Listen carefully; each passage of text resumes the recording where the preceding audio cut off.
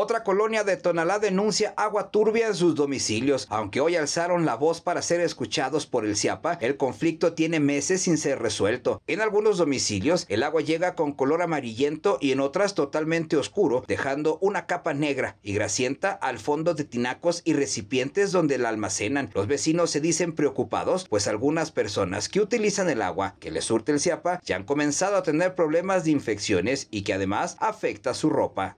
Muy sucia, sí, siempre, siempre. Ahí están los niños que ya tienen problemas en la piel, de enfermedades en la piel. Entonces no queremos que esto se haga un caos, ya que nos den una solución o, o qué van a hacer los del CIAPA, porque no les vamos a pagar ni un 5 si no nos arreglan bien nuestro servicio de agua.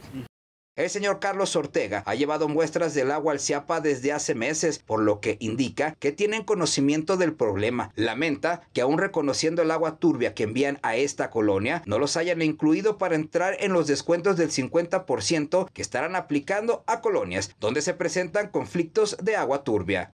No, no estamos incluidos y aparte, fíjese, 51 colonias en la zona metropolitana, cuando solo en Tonalá somos más de 450 colonias. En toda la zona metropolitana son más de 4.000 colonias. Eso no es nada. Aquí de Tonalá, ¿cuántas están incluidas? Una, nomás Urbiquinta. Urbi. Urbiquinta. Y me decían que tienen conocimiento de que son varias colonias que están presentando. Quinta Catalina, Ciudad Aztlán, Lomas del Camichín, Loma Dorada. Esto es en todo Tonalá.